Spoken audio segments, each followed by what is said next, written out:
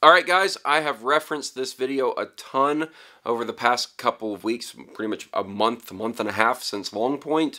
Uh, it's finally here. You can go check out Mike Edelson's talk on HEMA as an actual martial art and how we should actually train it as a martial art and not just train for tournaments, etc. Um, and thinking of it a little bit differently, changing our mindset. Um, it is available, link in the description below. I will go ahead and warn you, this, this uh, talk gets to a moment where it is um, not safe for work because of violence, um, not safe for life because of murder and gore. Um, part of that is to illustrate a point, so it's not necessarily for the faint of heart. Luckily, that that actually gets called out. You can skip over those parts. Um, but it's a very long talk and it's a very, very good talk. And I think it's something that has I, have been kind of dwelling on in my mindset as an instructor for HEMA on exactly how I want to incorporate it. Uh, I'm still kind of figuring that out. I've been talking to people in my club about it, but I think it's exactly what needs to happen is these conversations need to happen about, well, what do we do with this information? Eh, we know that we're doing a martial art, and it's a martial art with big swords that are meant to kill people, and we don't train that way. So what do we do? And I want to give a little bit of thoughts now that that video is available. Uh, so my recommendation would be if you haven't seen the talk, pause my video right around here uh, and come back to it once you've watched it. Uh, because I'm just going to talk a little bit, as, as, much as I can remember of the talk. It's been a while since I've, I've actually watched it.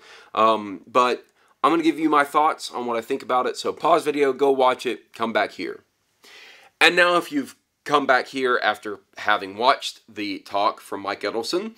Um, let me tell you what my thoughts are on it. I think he's absolutely right. I think that we actually train in historical European martial arts a little bit wrong. Uh, whether you're doing it with Fiore or uh, some Lichtenauer tradition, or you're really focused on Meyer, or you do pan-European, or whatever it is, we often focus on just the longsword. A lot of us just focus on just the longsword and we get really good at it. And we go to tournaments, we, we, we learn how to fight for tournaments, and we, we have rules in tournaments that are meant to keep us safe, but then they don't necessarily promote the right martial practice. We don't really understand how a sword actually fits into the larger scheme of things. We think of us entering the fight with a sword instead of entering the fight with a sword on our hip and a dagger on our hip and a pole arm in our hands. Um, and to have that mindset shift is actually really important. You have to have that because if you don't, uh, then what you're really doing is no better than what a McDojo does, right? Someone who just trains you to, you know, throw light punches and do forms and say hiya at the right moment. Um, and you walk away with actually not being able to actually win a fight. You know, you go up against some person who's been training MMA and they're going to own you. Um, so we need to understand exactly what we're training and why we're training it. And I think this is actually going to end up resulting in long term. There's going to be a split. There's going to be a shift. Uh, and there's going to be a polarizing effect within the HEMA community. This will be pretty much the second time that Western European martial arts have experienced something similar to this. Um, but this this second time will be much more of a peaceable one, I think. And you're going to end up having a split that doesn't necessarily split school from school, but within a school, mindset changes that have to be accounted for. And that is, we're going to focus on fighting for tournaments, and we're going to be focusing on fighting for uh, an actual lethal duel. And uh, the lethal duel part is much more academic in a lot of ways because we're not going to go out there and try to kill each other uh, someone might, but they're really crazy and stupid. Um, and the tournament side is going to be to get that more active part and that communal participation. It's going to be really tough to do that because we train a certain way and we, we learn things really poorly. Um, in actually working with one of the Feders that I'm going to be doing a review of, I was using the Feder and I was using it with some SPES heavies. And I noticed very quickly there are certain things I could not do with the grip on that sword being what it was and the SPES heavies being what they were and how they're designed. And I'd have to modify for that. And that would be okay in a tournament, but in a, in a martial arts standpoint, it would be a very bad idea. Likewise, when you look at something as simple as how to do a proper Zwerchhau, for example, um, which I always define as striking with the other edge of the sword. It's the easiest definition I can give for it in, in a flat manner, and that's a very loose term. Um, but you see a lot, a lot of new people who learn how to fight. They they hit with like a long edge, and they turn around, they hit with a long edge again, and they do this certain motion that they think is right based on what they've been seeing, but it isn't correct for his Zwerchhau. And likewise, going into something like a Schielhau, where you hit uh, kind of into a flug-ish, extended flug motion with the short edge of the sword, uh, that's designed to some extent to help set you up for other things. And a lot of times when we talk about tournaments, all that stuff goes out the window because you just try to get your hit in and you don't consider what actually is the most efficient. And we teach ourselves bad habits because our hands can't turn certain ways, etc. And Mike specifically addresses this, right? He says, you know, the, we, we train with these gloves, we train with these gear, and, and they, they don't have the mobility that even sometimes a knight in armor would have, um, and you, you, you miss out on a lot of what you should be doing, and you teach yourself bad manners or bad habits. There we go. Habits is the right word. Teach yourself bad habits, and those habits then affect everything else, right? Just like you got to have great footwork and you have to maintain great footwork, you can't have bad handwork in holding a sword and then expect it to work real well in an actual setting. Not that we're going into an actual setting, we have to be cognizant of that. But it all comes down to why do we train this? And I think that you're that we're seeing a little bit you we we're, we're seeing a bit of boredom come within people who are uh, veterans of HEMA. Uh, so whether they be Mike Edelson or uh, Michael Chidester or Jake Norwood, um, they've been doing this a long time, and I, I can't say I've been doing it quite as long as them, but I've been doing it for a while. And the tournament scene becomes something that's still interesting, but doesn't quite hold the same level of um, value anymore in a lot of ways. And, and there's a shift towards trying to understand the martial arts side better because it's a harder problem to solve, uh, especially from a safety standpoint in terms of training it. So, um, I think that aspect is really interesting in terms of training. The other thing I think is really interesting is the focus, uh, to some extent, and it was really only briefly covered in the talk, on understanding anatomy and how that plays into it.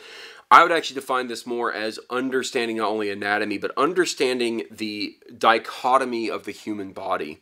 and the dichotomy that I'm talking about is the the odd juxtaposition of the human body being incredibly fragile and it doesn't take much to be lethal and at the same time how the human body is incredibly resilient and how resistant it can be to something like death.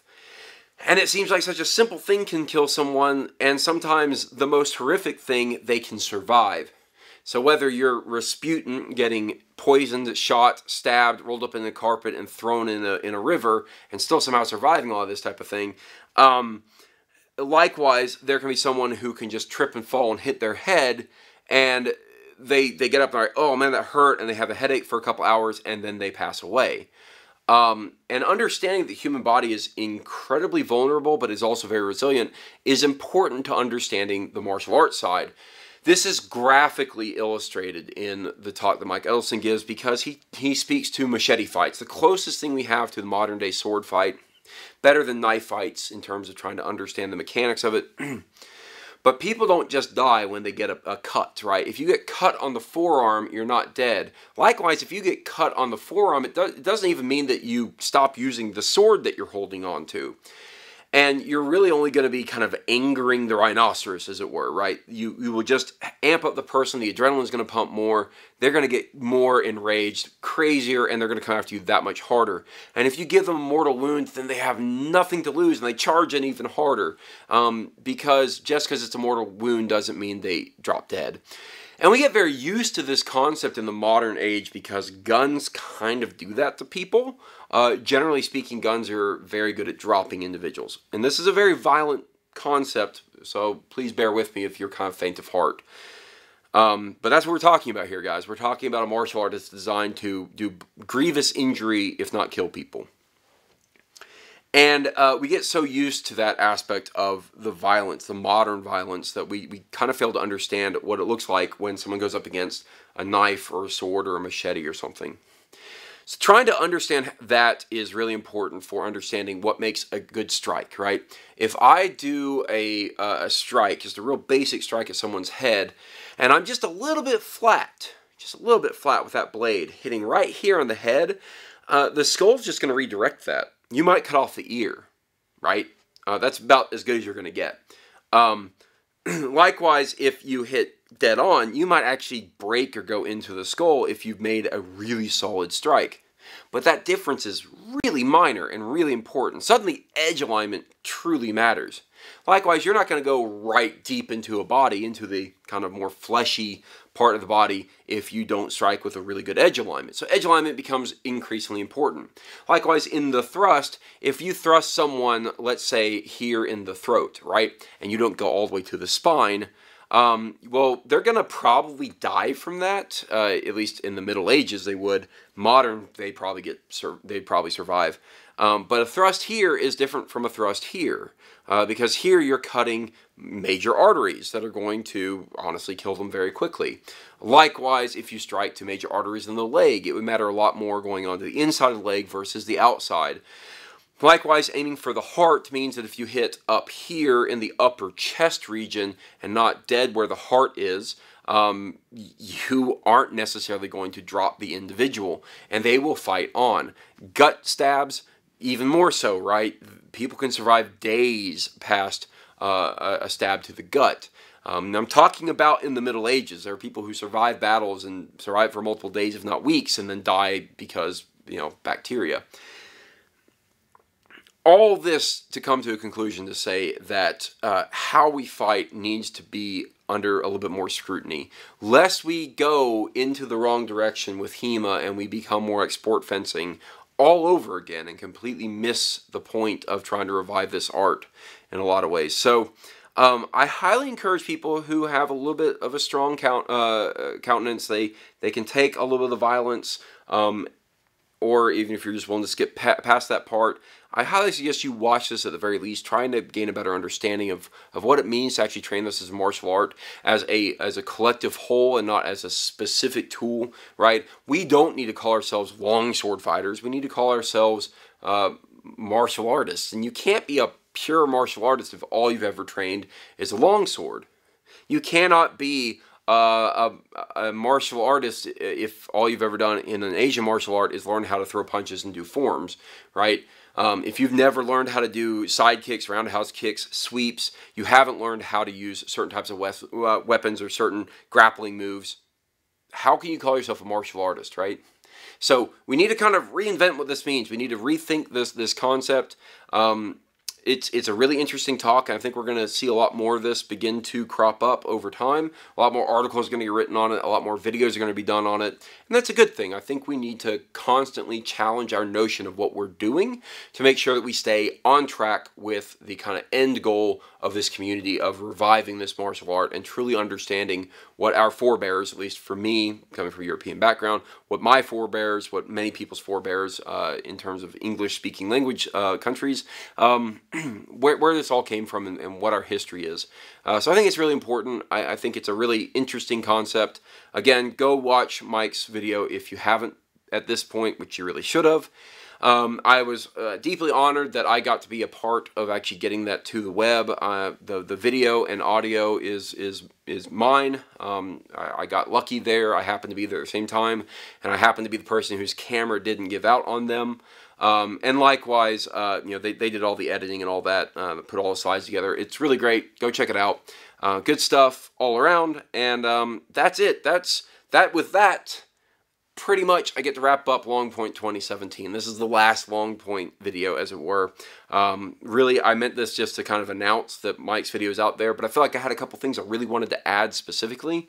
Um, and I'll probably do a lot more talks on this, or at least it'll be interspersed uh, as I come across this topic periodically in the future because I think it's a, a, fascinating topic and something that I am personally challenging myself to try to do better with, to try to understand better. So uh, that's it, guys. Uh, Longpoint 2017 finally completed in terms of video projects. Uh, again, um, Mike's video is great. Huge thanks to Mike Edelson for making a really great uh, talk and presenting that in a manner that I think uh, handles the topic fairly well um, and certainly does it with uh, some poignant examples.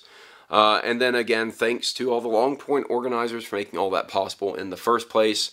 And thank you, my viewers, for getting to this point in this video and listening to me for this long. So cheers, guys. See you in the next video. And uh, I hope in the future we're going to see more of this good stuff. Talk to you later.